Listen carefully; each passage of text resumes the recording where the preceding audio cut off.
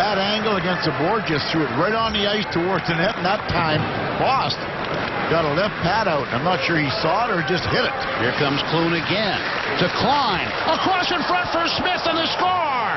Predators are on the board at 9.27.